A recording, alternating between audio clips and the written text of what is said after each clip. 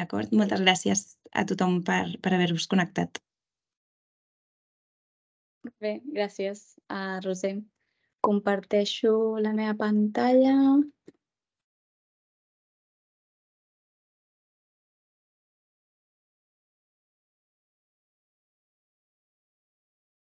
Val, si em podeu confirmar que es veu Sí, en mode bé. presentació? Vale, Sí, genial. perfecte. Gràcies. Molt bé. Doncs bona tarda a tothom. Uh, abans de res vull eh, donar les gràcies a la Roser, per suposat, i en general a l'Institut de Neurociències i a la Cora Salut Mental, a la Sònia, totes les organitzadores que esteu darrere d'aquest uh, esdeveniment, d'una activitat que, que trobo que és realment uh, important, que, que es faci i, i que apropi la ciència a la, a la societat, no? que al final és, és un dels objectius que, que perseguim tot aquell que fem uh, recerca i sobretot agrair que, que es doni un espai doncs, per perfils tan variats, no? Uh, no només perfils més sèniors amb molts anys d'experiència, sinó perfils doncs, més com el meu, uh, perfils més joves que potser no portem tant de recorregut però que tenim uh, moltes ganes d'aprendre i de transmetre tot allò que, que hem après fins ara. Així que gràcies. I gràcies a tots els que esteu avui aquí escoltant-nos. Um, doncs bé, ja... A veure si... Ja la Roser m'ha presentat perfectament, però sí, soc la Pilar Torrecilla, investigadora productoral, eh, realitzant la, la tesi doctoral.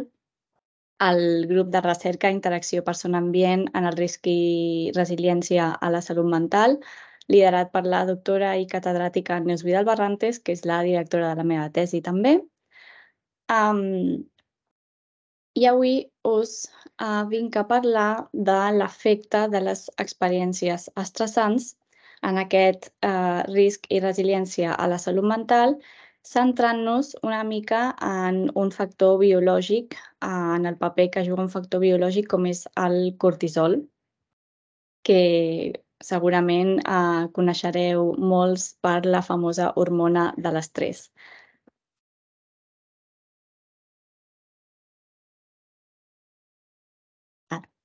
He, he dividit o dividiré la xerrada una mica com en dues parts. Una primera part uh, més de tipus teòrica, com per eh, situar-nos tot una mica, uh, recordar què és l'estrès, quin és el sistema, un dels sistemes principals que el regula, uh, quina relació té amb la salut mental i aleshores sí que entraré a presentar-vos els resultats uh, d'un estudi que hem dut a terme uh, en el grup de recerca i que forma part de la meva tesi, sobre el rol moderador del cortisol en l'associació d'aquestes experiències estressants, tant de la infància com de la vida adulta, eh, amb, amb diferent simptomatologia.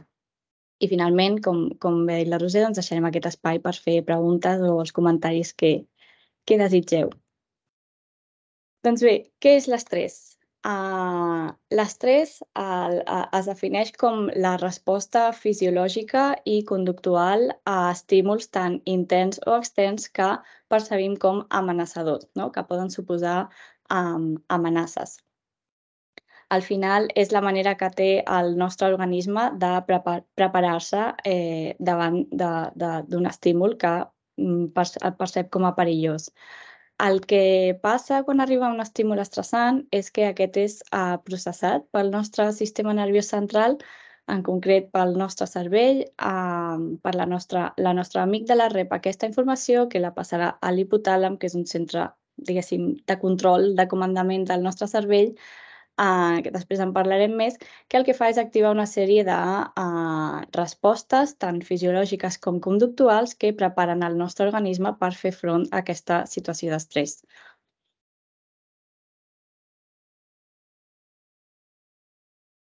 Al final, eh, l'estrès és una resposta totalment adaptativa o dissenyada per ser adaptativa que durant, eh, molts, eh, durant al llarg de l'evolució, tant a animals com a humans, ens ha ajudat a sobreviure.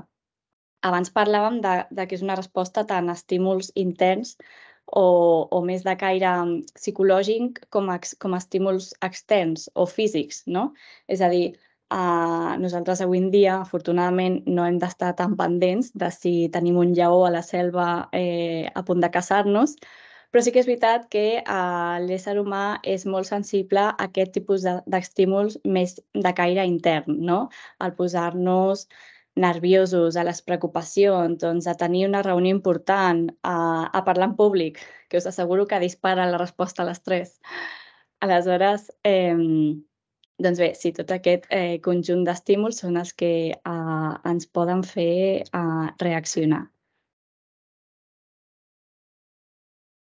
Clar, què passa fins aquí? Tot bé, no? Sembla, ja dic, un sistema, una resposta adaptativa, uh, però què passa quan aquests estímuls estressants són intensos o perduren en el temps, el que diem eh, estrès crònic? Doncs bé, aquí és on comença una mica la relació entre l'estrès i el malestar psicològic o els trastorns mentals. De seguida anirem a veure què diu l'evidència científica, eh, com es relaciona l'estrès amb la salut mental o quins mecanismes hi ha al darrere. Però abans um, m'agradaria parlar-vos una mica d'un dels principals sistemes reguladors de la resposta a l'estrès, que és l'eix hipotalàmic pituitari adrenal, que per abreviar li direm eix HPA. Uh, L'eix HPA està format per unes estructures que formen part del sistema neuroendocrí, en concret uh, de l'hipotàlam, la glàndula pituitària i les glàndules adrenals. El que passa quan arriba un estímul estressant és que, com us deia, és processat pel nostre uh, cervell. En concret, arriba la informació a l'hipotàlam, que, com dèiem, és aquest uh, centre de, de control, de comandament, que de fet s'encarrega de moltes funcions de les més bàsiques del nostre organisme, com és la, la set, la gana o dormir. I aquest hipotàlam és el que activarà una cascada hormonal, que li diem, que s'inicia amb l'alliberament d'aquesta hormona alliberadora de corticotropina, CRH, que és una hormona que arribarà a la glàndula pituitària activant l'alliberament d'una altra hormona, que és la CTH, l'adrenocorticotropina, fins a les glàndules adrenals que es troben damunt dels nostres ronyons per, aquí sí, finalment, um, on es produeix i on s'alliberarà el famós cortisol, eh, el que comúment uh, coneixem com a l'hormona de l'estrès. El cortisol, efectivament, és una hormona que, a l'alliberar-se uh, pel torrent sanguini, viatjarà cap a tots, totes aquelles estructures i òrgans del nostre uh, organisme per preparar-lo i fer front a, aquesta, a aquest estímul estressant que s'ha presentat. Sí? Són aquest tipus de respostes que, que parlàvem abans. Doncs potser doncs, facilitarà l'augment de la pressió sanguínia o el consum de glucosa perquè tinguem més energia o eh, relaxarà el nostre sistema digestiu. Sí? Una sèrie d'accions que facilitaran la nostra resposta a l'estrès. El que és molt interessant és que el cortisol uh, té un objectiu final, que és arribar, com veiem a la fletxa a la dreta, al nostre cervell, a uns uh, receptors que tenim al nostre cervell, que són receptors per glucocorticoides, i un cop s'uneix el cortisol a aquests receptors, el que es detecta és, diguéssim, que el cortisol ja ha dut a terme la seva funció i que, per tant, aquesta cascada hormonal pot aturar-se. És a dir, és un sistema que ell mateix té una, un, un, un sistema de retroalimentació negativa en el que detecta quan ja s'ha complert la funció, quan ja s'ha distribuït aquest cortisol i l'estímul estressant ha desaparegut i, per tant, podem acabar amb aquesta resposta eh, hormonal a l'estrès. Fins aquí tot sembla, bé, no sé vosaltres, però a mi em sembla un, un sistema molt intel·ligent, no? amb el seu propi uh, mètode per activar-se i inactivar-se en funció dels estímuls estressants, però, com dèiem abans, el uh, problema arriba quan hi ha una exposició molt intensa a l'estrès o que perdura en el temps. Aquí és on l'eix HPA uh, corre perill d'alterar-se o de patir algun tipus de deteriorament bé sigui perquè uh, bé, es canvien estructures o funcions que fan que el nostre eix HPA no respongui suficientment davant d'un estímul estressant i, per tant, no s'alliberi el cortisol uh, necessari, és a dir, manca de cortisol, o bé perquè uh, no funcioni bé aquest sistema de retroalimentació negativa i, per tant, no s'enviï la senyal de que aquesta cascada hormonal s'ha d'aturar i hi hagi una sobreactivació i un sobrealliberament de cortisol. Ambdues, uh, ambdós comportaments s'han relacionat amb diferents trastorns mentals, com uh, la depressió, el trastorn bipolar, l'esquizofrènia o d'altres. Cal dir, però, que el funcionament correcte i òptim d'aquest eix, igual que el de molts dels nostres uh, sistemes, no depèn únicament de l'exposició a l'estrès, sinó que, per suposat, variarà en funció de les nostres diferències individuals, uh, de cadascú, dels nostres factors genètics, de la nostra genètica, de com estem configurats, de la nostra forma de ser, els trets de personalitat i també, com dèiem, doncs, de l'ambient, no? de les experiències, de, de l'exposició a, a les coses que ens passen. Un període crític um, en el que l'exposició a l'estrès uh, sembla que té un impacte uh, realment uh, greu i, i persistent és la infància i l'adolescència, un període crític del, desenvolupament, del desenvolupament humà. En concret, Uh, una de les experiències estressants que més està relacionat amb l'aparició de trastorns mentals en la vida adulta és l'adversitat o maltractament infantil. Quan parlem, eh, és important remarcar, remarcar que quan parlem d'adversitat o maltractament infantil, parlem de diferents formes d'adversitat, sí? És a dir, uh, des d'abús de tipus físic, emocional, sexual, el que potser més eh, comúment uh, coneixem, però també parlem de formes de negligència o de deprivació, ja sigui física o emocional. És a dir, quan el nen o nena no uh, té els recursos físics, per exemple, menjar, roba no? els recursos necessaris pel seu desenvolupament o no té el suport emocional d'una figura eh, cuidadora pel seu durant el seu desenvolupament. Però també parlem de tenir experiències no? de, durant la criança, doncs, de tenir pares o cuidadors amb enfermetats mentals o que pateixin abús de substàncies o que hagin de um, presenciar um, actes violents o, o que hi hagi una separació de, dels seus cuidadors per divorci o per altres motius. Així que totes aquest, tot aquest tipus d'experiències d'experiències són el que englobem com a adversitat o maltractament infantil i són les que s'han relacionat amb una àmplia evidència amb els trastorns mentals. De fet, els estudis uh, epidemiològics suggereixen que duplica el risc d'aparició de trastorns mentals i no d'un en concret, sinó de varis, com depressió, ansietat, esquizofrènia, abús de substàncies o, per suposat, estrès posttraumàtic.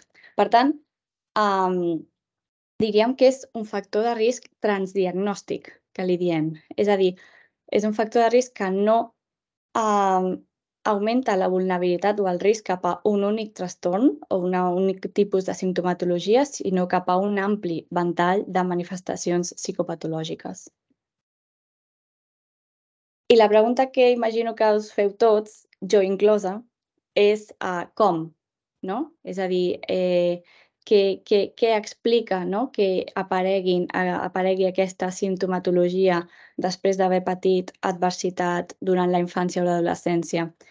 Doncs bé, en els últims anys um, hi ha una àmplia evidència científica i s'han proposat diferents mecanismes explicatius, però uh, avui em centraré en un d'ells, que és la hipòtesi de la sensibilització a l'estrès, un model uh, molt extens en recerca en depressió i en psicosi, especialment, el qual eh, el model de sensibilitat a l'estrès eh, proposa que haver patit adversitat eh, durant un període tan crític com és la infància o l'adolescència, haver patit aquestes experiències tan traumàtiques, el que farien seria eh, impactar, alterar, deteriorar en la nostra resposta a l'estrès tant biològicament com conductualment. És a dir, deteriorar tant els sistemes que la regulen, els sistemes biològics, per exemple, l'eix HPA i, per tant, els nivells de cortisol, com alterar la nostra resposta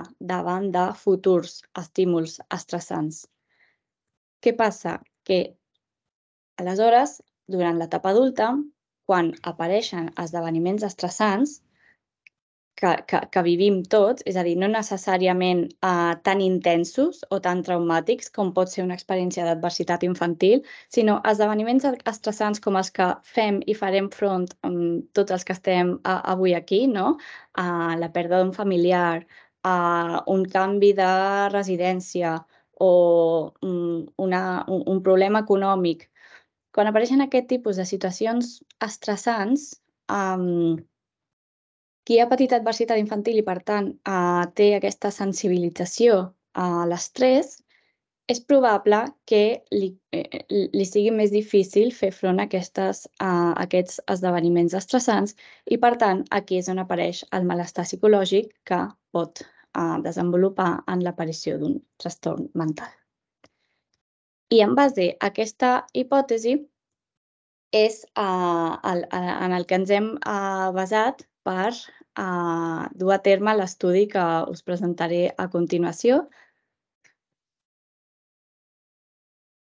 que hem dut a terme el grup de recerca i que forma part de la meva tesi, en el que, en concret, hem volgut investigar, bé, volíem veure si efectivament haver patit adversitat infantil, i no només adversitat infantil, és a dir, estrès a la infància, sinó estrès a la vida adulta, especialment doncs, esdeveniments estressants eh, recents, en l'últim any, si això s'associava amb símptomes psicòtics, depressius, ansiosos o també amb els nivells d'estrès percebut, és a dir, amb com em percebo jo eh, d'estressat.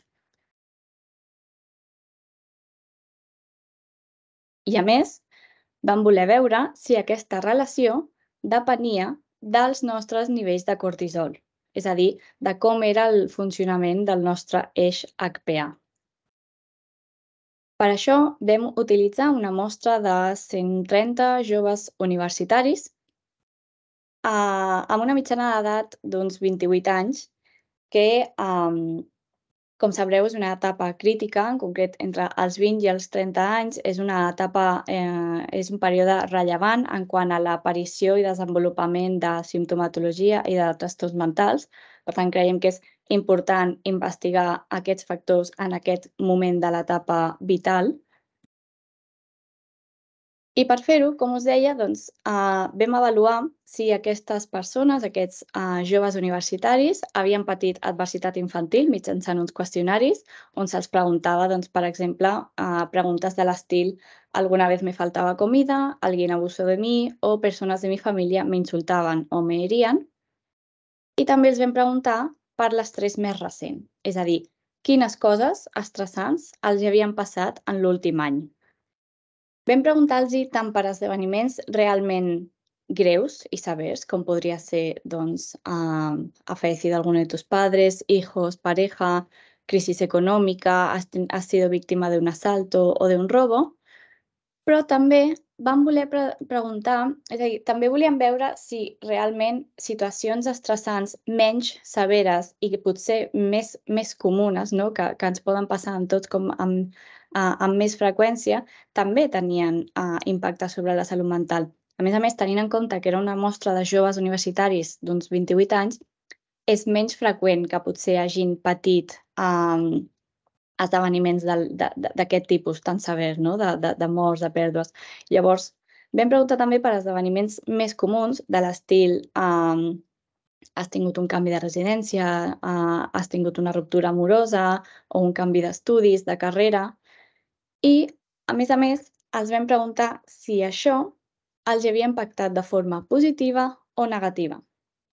Perquè Uh, no sé si estareu d'acord, però bé, per exemple, uh, canviar de residència o canviar de, de pis pot ser un esdeveniment uh, molt positiu per una persona o per un jove, una jove que uh, s'acaba d'independitzar i té el seu, no? per fi té el seu propi uh, pis i, i, i està feliçment, però pot ser un esdeveniment realment negatiu per una persona jove que doncs, eh, ell o ella i la seva família han hagut de marxar de la seva casa doncs, per un desnonament o, perquè, o per problemes econòmics.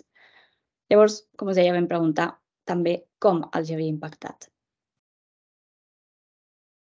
Per avaluar els nivells de cortisol, eh, cal remarcar que ens vam centrar en els nivells de cortisol basal, és a dir, en absència de cap estímul estressant en el moment que recollíem la mostra. Això ho dic perquè um, cal saber que els nivells de cortisol fluctuen durant el dia, és a dir, varien al llarg del dia. Els nostres nivells de, de cortisol de, de forma normal, eh, sota el seu funcionament normal, eh, són molt elevats, tenen un, un pic d'elevació durant el matí, a, a, a l'hora de, de llevar-nos més o menys, i van disminuint uh, fins a arribar al seu punt més baix com a l'hora de dormir. No? Aquest és el, el cicle normal. Llavors, tenim maneres d'analitzar el cortisol en un moment molt concret del dia, com és a través de mostres de saliva, d'orina i de sang, però ens donen això, ens donen els nivells d'aquell moment concret. Um, però nosaltres volíem veure quins eren els nivells mitjans que uh, aquestes persones havien tingut de cortisol en el seu organisme en un període més ampli, no? de, de dies o mesos. Per això vam utilitzar una mostra de cabell. Amb el cabell, eh, el que passa és que, com us deia, el cortisol viatja pel torrent sanguini. Aleshores, com podem veure en aquesta imatge eh, inferior, el cortisol que corre pel torrent sanguini es va adherint al nostre cabell a mesura que el cabell ens creix. Tenint en compte que el cabell ens creix aproximadament un centímetre um, per mes, tenir una mostra, tallar un tros de 3 centímetres de cabell, ens proporciona uh, els nivells de cortisol mitjans d'aquells últims 3 mesos. I això és el que vam utilitzar.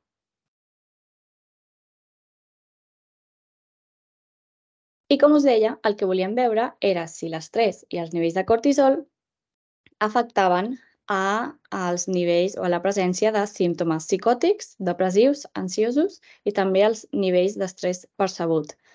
A vegades pot sorprendre que potser eh, que avaluem si hi ha simptomatologia psicòtica en una mostra de joves universitaris aparentment no? Sants, diguéssim, sense cap trastorn eh, diagnosticat, però potser això no ens sorprèn tant quan parlem de símptomes depressius o ansiosos, no? Jo penso que això és sovint és perquè, eh, bé, estic eh, pràcticament segura que molts dels que estem aquí a vegades hem patit algun tipus de simptomatologia depressiva o ansiosa sense necessitat d'estar diagnosticats o sense tenir cap trastorn depressiu o d'ansietat, no? Perquè sabem que són símptomes que podem tenir doncs bé, amb els símptomes psicòtics, i aquí és on volia fer un petit incís, és quelcom semblant. La psicosi també es presenta de diferents maneres. La psicosi s'expressa al llarg uh, d'un continu amb diferents manifestacions, més lleus o més greus la manifestació més greu psicòtica que, que coneixem, no? o que eh, potser ens sona més a tots, és eh, l'esquizofrènia. No? L'esquizofrènia és un trastorn psicòtic caracteritzat generalment per aquesta distorsió de la realitat que diem que engloba tres tipus de símptomes diferents. Símptomes positius, que inclouen eh, les al·lucinacions, els deliris, paranoia, eh, aquesta desconfiança extrema per tot i per tothom, uh, però també persones amb esquizofrènia poden presentar símptomes negatius, que els diem negatius perquè hi ha manca de, no? hi ha manca d'expressió emocional, hi ha manca d'afecte, de motivació, de voler interaccionar amb, la, amb, no? amb el món social, i també hi ha aquesta desorganització en quant al, al llenguatge i al pensament. És un llenguatge i un pensament desorganitzat. Doncs bé, aquests uh, fenòmens, aquests tipus de símptomes, no, no només els trobem en pacients amb un trastorn psicòtic. El que hem vist és que també es donen, insisteixo, amb una uh, menor uh, gravetat i, i deteriorament, però també es donen, diguéssim, en la, en la població general. De fet, li diem més aviat experiències de tipus psicòtic, no li diríem símptomes, però trobem que un 7,8 de la població reporta haver tingut experiències de tipus psicòtic en algun moment de la seva vida. Un percentatge que trobo mmm, bastant més alt a l'1% no, de prevalença d'esquizofrènia com a tal, de trastorn psicòtic diagnosticat que, que trobem a la població. Per això creiem que és uh, important avaluar aquest tipus de simptomatologia en joves universitaris. Com us deia, doncs, perquè ens fem una idea no? de què són les experiències psicòtiques. Vam avaluar experiències psicòtiques positives. Un exemple del que, del que se'ls preguntava no? per saber si se sentien identificats era a veces he sentido que alguna parte de mi cuerpo dejaba de pertenecerme, no? aquesta distorsió o allunyament de la realitat. Experiències psicòtiques negatives, eh, el que parlàvem, no? aquest aplanament, aquest aïllament, hacer nuevos amigos no compensa la energia que requiere. I també els vam eh, avaluar sobre paranoia, no? o aquesta desconfiança extrema, perquè és un dels fenòmens que més trobem a la, a la població general, eh, com per exemple pot ser siento que he de estar en guardia incluso con mis amigos. I aquí sumem els símptomes depressius, ansiosos, i els nivells d'estrès percebut. Un cop havíem avaluat tot això, el que vam veure és que les persones que reportaven nivells més elevats haver patit adversitat infantil, és a dir, maltractament durant la infància, s'associava, presentaven majors nivells d'experiències psicòtiques positives, de paranoia, de símptomes depressius, de símptomes ansiosos i més nivells d'estrès percebut.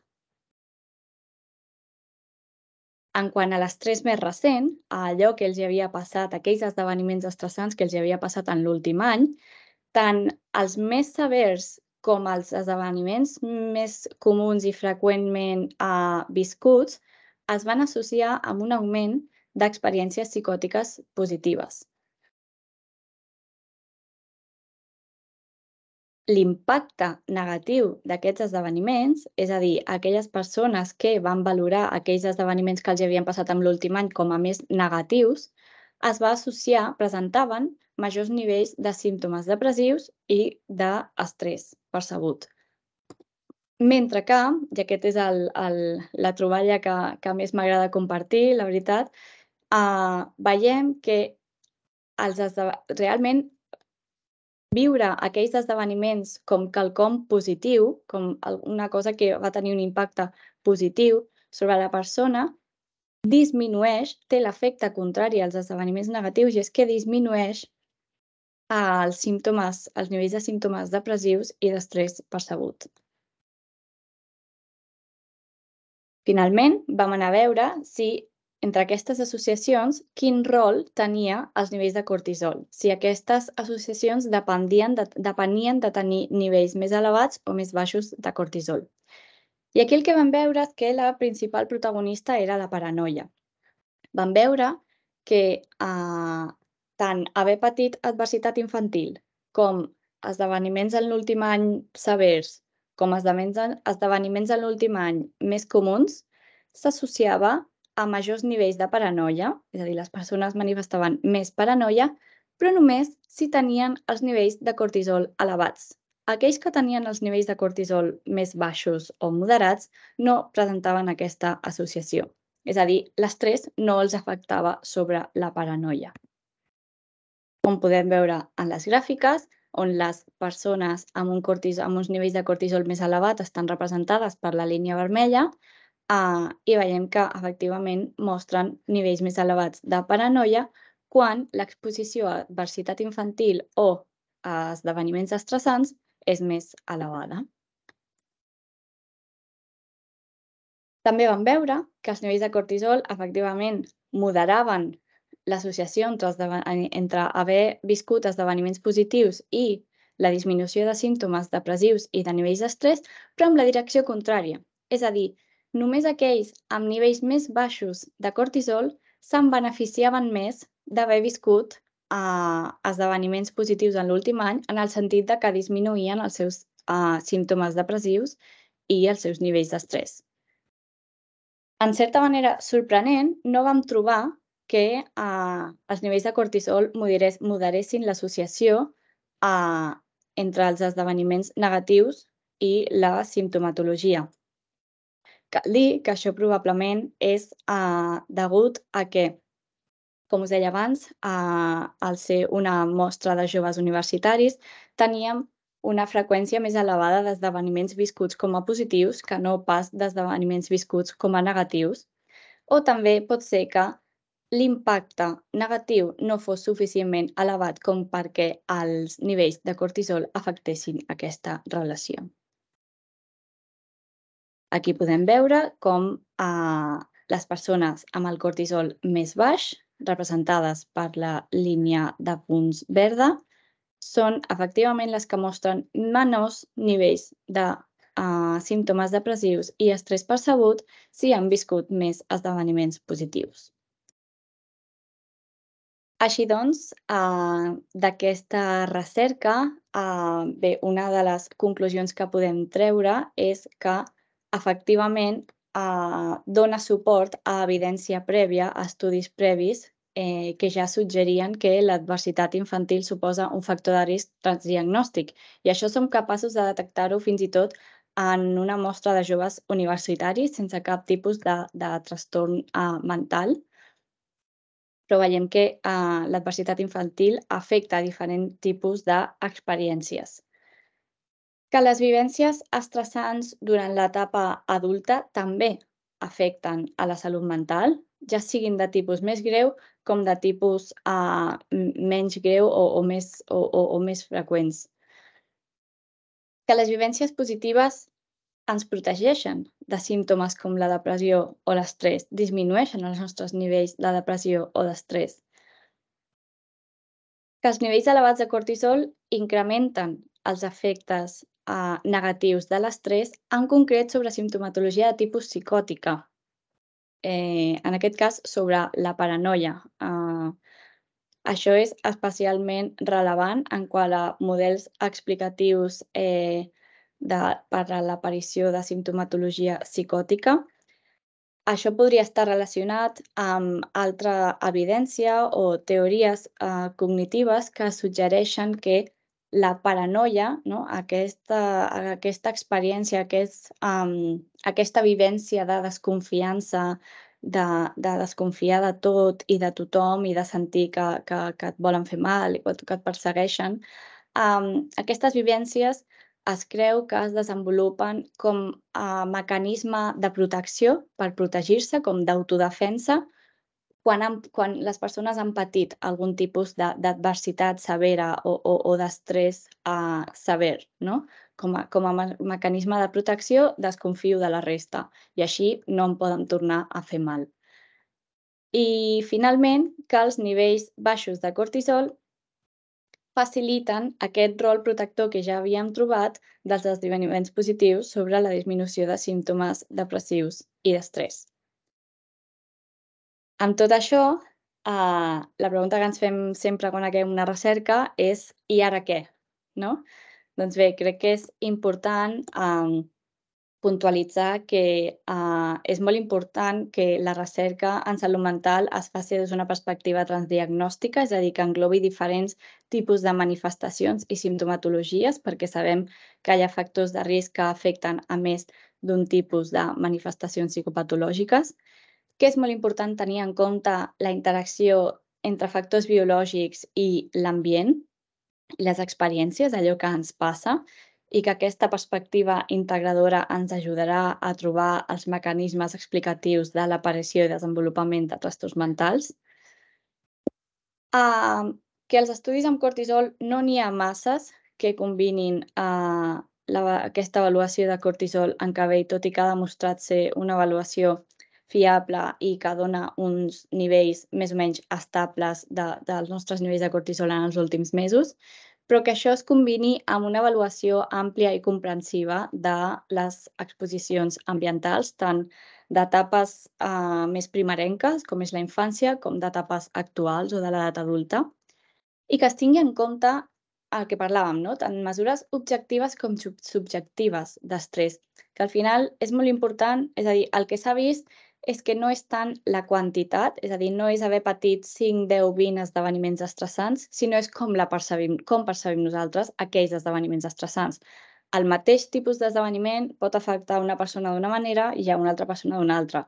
Per això pensem que és molt important uh, incloure aquesta perspectiva més subjectiva de la persona uh, en aquest tipus d'estudis i finalment, eh, doncs bé, tot això ens, ens obre una mica la porta no, a la importància de que les mesures preventives i d'intervenció se centrin no només en reduir simptomatologia un cop ja ha aparegut, sinó en, en, en tècniques d'afrontament d'estrès i en potenciar aquests factors positius i de suport que sabem que tenim evidència que ens protegeixen de, de, de, de, de, de manifestacions psicopatològiques.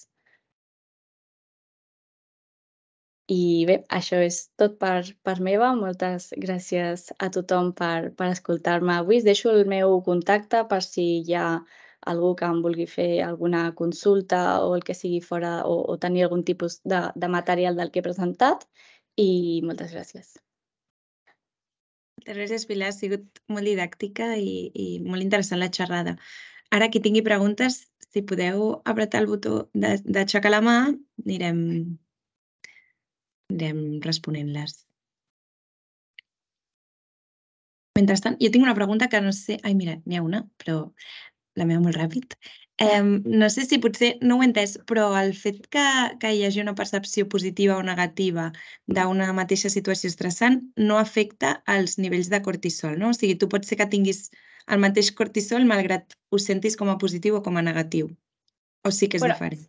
Sí, això en concret, aquesta uh, associació no l'hem mirat entre aquest estudi, però sí que et puc dir que l'hem mirat a un estudi anterior i, I no, la percepció subjectiva de com t'afectava un esdeveniment estressant no s'ha vist relacionada amb els nivells de cortisol eh, mesurats en el cabell, però cal dir que això és una cosa que acostuma a passar eh, i passa en molts estudis, i és que sovint no es relaciona directament la vivència estressant amb aquells nivells de cortisol que tens, però molts cops perquè al final hi ha un tema de mesura, no? en el que, per exemple, els nivells de cortisol són la mitjana dels últims tres mesos i quan preguntem pels esdeveniments estressants parlem de l'últim any. Llavors, han pogut passar moltes coses no? en, un, en un període temporal diferent.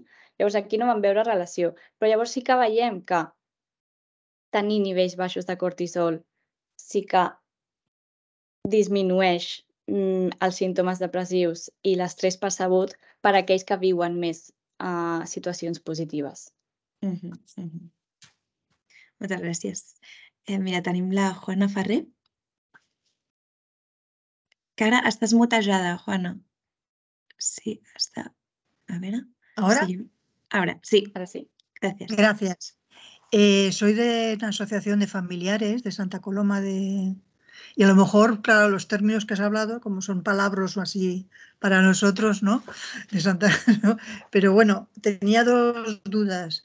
Cuando has hablado de la, del eje este de HPA, ¿no? de cortisol, exactamente se, se segrega en la pituitaria, en la...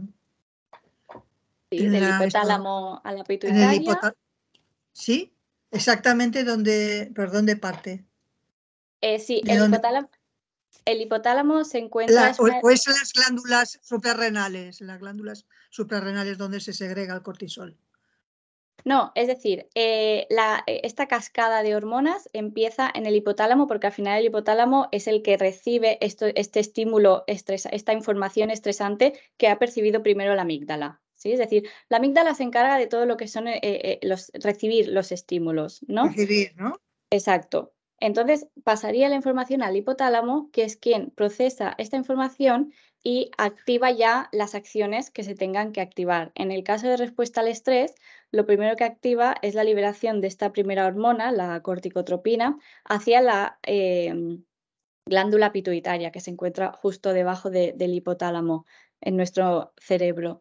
Y de la glándula pituitaria se libera una segunda hormona que esta sí que va a las glándulas adrenales, o suprarrenales que se encuentran en, nuestro, en la parte superior de nuestros riñones y esas son las que producen y liberan el cortisol hacia todo nuestro cuerpo hasta llegar al cerebro. Vale. Y la siguiente era, me ha parecido entender que cuando hablabas, bueno, que cuando subía el cortisol pasaban una serie de síntomas y manifestaciones y cuando bajaba, pues el más tema depresivo, etcétera, ¿no? Y me ha parecido entender que no era posible la regulación de este es más y este menos, porque en el más era paranoia, en el menos era depresivo. ¿No existe esta regulación o equilibrio? ¿O lo he entendido yo mal? En, este, en este tipo de manifestaciones. Sí, no, lo que hemos observado en el estudio es que Es decir, O sea, la, que es la- disyuntivo, es, es disyuntivo, o se da esto o se da lo otro. O es alternativo, lo digo por, no, porque muchos de los de los primeras personas que tenemos en la asociación es una cosa como intermitente, de repente esto, de repente lo otro, ¿no? ¿Me explico? No, no, para, para nada es excluyente, de hecho es complementario y, y de hecho si, si analizamos los dos resultados tienen sentido. Es decir, lo que se ve es que niveles de cortisol elevados eh, Mala para in- interactúan con adversidad, con estrés, ¿vale? Con situaciones negativas en cuanto al aumento de, en este caso, paranoia. Lo que vemos en el otro resultado es que personas con niveles bajos de cortisol les afectan más las situaciones positivas. Las positivas. Entonces, lo que vemos, lo que parece ser es que niveles altos de cortisol influencian más situaciones adversas o negativas, mientras que niveles bajos de cortisol, eh, las personas con niveles bajos de cortisol se benefician más de las situaciones positivas. Lo cual, si nos damos cuenta, es como eh, eh, muy parecido decir lo mismo, pero de otra forma. Es decir, que los niveles altos de cortisol nos traen dos cosas. Uno, un mayor impacto de adversidad o de, situaciones estresantes negativas y un menor beneficio de las situaciones positivas.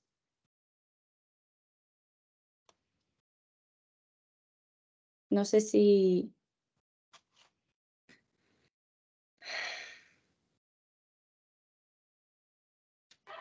Claro, Sí, tal pues, vez también bueno. hay un poco de lío entre positivo y negativo, como también hay unos síntomas positivos, negativos, el Sí. estrés Sí, positivo, negativo, quizá igual es por ahí que, ¿no? lío, eh, y, Sí. y un poco intentándolo también asociarlo con los, con los escenarios donde tenemos a nuestras personas enfermas, Claro. ¿sabes?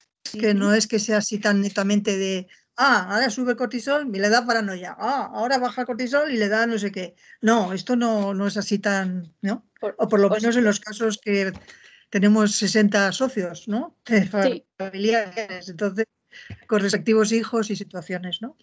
Por Sí, eso sí, sí. intentaba un poco eh, buscar y decir, bueno, entonces quizá si es esto así, a lo mejor equilibrando el cortisol, ¿no? Podemos equilibrar ciertas situaciones para que no se vayan a los extremos. En mi lenguaje, ¿no? No sé. Sí, sí. Yo quizá lo enfocaría de otra manera y es que en lugar de centrarnos en equilibrar el cortisol, que al final el cortisol es una respuesta fisiológica del organismo ante situaciones, quizá creo que es más fácil desde fuera, ¿no? O desde las asociaciones, el personal, el, personal profesional, psicólogos, eh, centrarnos en la parte del ambiente, en la parte de las situaciones, en la parte de cómo hacemos que esa persona perciba eh, y afronte las situaciones estresantes que le vienen. Si, si, nos centramos en eso, de alguna manera también influiremos en su respuesta, en, sus, en, su- en los niveles de cortisol que, que va a, a dar como respuesta.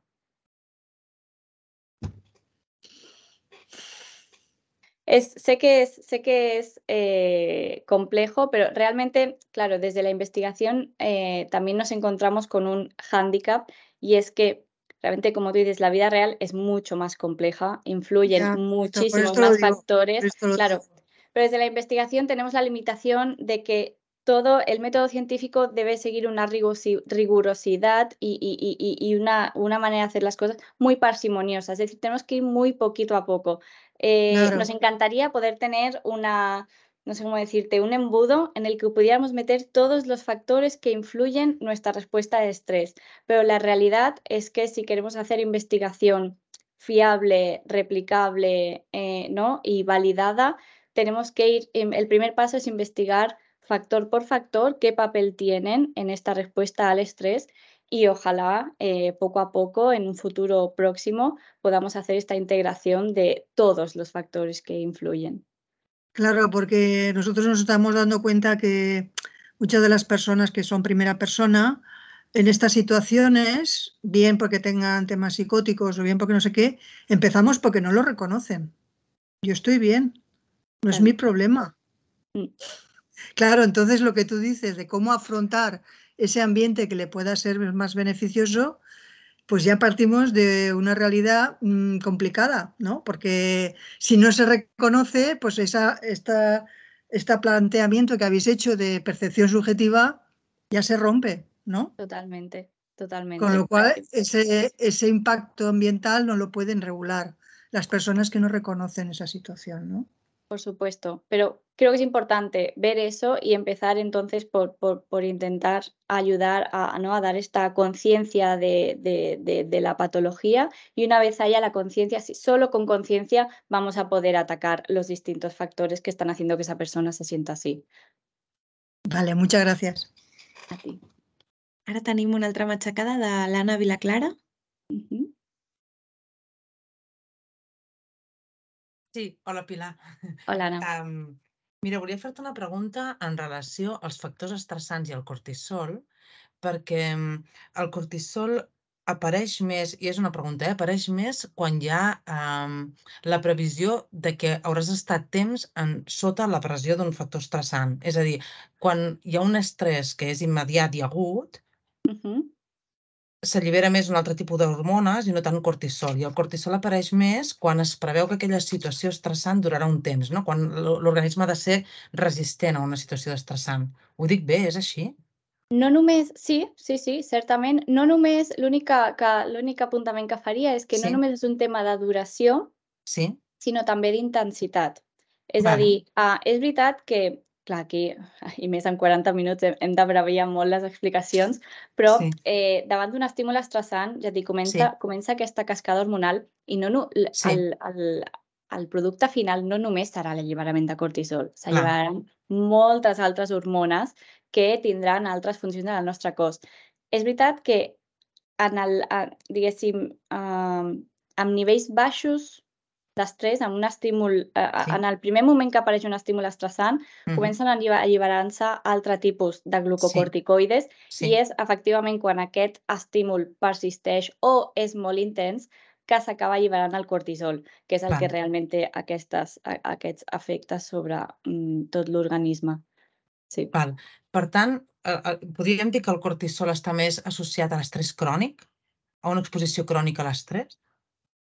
Sí, sí, no només crònica, com et dic, sinó també intensa. És a dir, no, cal que, no, no només cal que perduri en el temps, sinó que també sembla que el cortisol es veu molt afectat si l'experiència és molt intensa o molt traumàtica. Molt traumàtica, molt Exactament, traumàtica, amb situació de perill de mort o així. exactament. Vale. Vale, gràcies.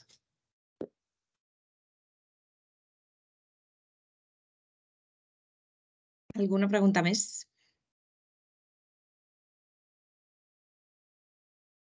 Si no, mentrestant, mentrestant es va animant més gent. El que comentaves d'intervenció, que seria que si, si sabem que algú ha patit alguna situació com molt adversa, fer teràpia o quines serien, quines serien les coses que podríem fer per tal que després aquest estrès no ens passés tanta factura. Sí, exacte. Jo el que, basant-nos una mica en el model que us explicava de la sensibilització a l'estrès, sabent que hi ha evidència que persones que han patit adversitat a l'estrès seran, uh, és molt probable que siguin més vulnerables a petits estímuls estressants que els hi passin en el futur o en la vida adulta, no podrem evitar que els estímuls que, que, afront, que, que apagreguin estímuls estressants a la vida adulta perquè a tots ens passen i ens passaran i tampoc podem eliminar l'adversitat uh, infantil que aquella persona va patir. Per tant, uh, crec que el focus de les intervencions, uh, sobretot de, de, de la part terapèutica, de la part psicològica, és uh, centrar-se en tècniques d'afrontament a l'estrès, de com aquella persona, sabent que serà més sensible a situacions estressants ara en la vida adulta per al que va patir, a intentar treballar en la forma eh, com afrontar aquelles situacions estressants perquè li afectin mm, de la manera eh, mínima possible i li provoquin el mínim malestar psicològic. Gràcies. Val, doncs, si no hi ha cap pregunta més, ja ho deixaríem aquí. Moltes gràcies, Pilar. Ha sigut superinteressant. Hem après molt aquesta tarda. I, i res, i convidar-vos a tots i totes a que us connecteu demà, que continuem amb el cervellet. Gràcies. Gràcies. Gràcies. Gràcies. Bona tarda.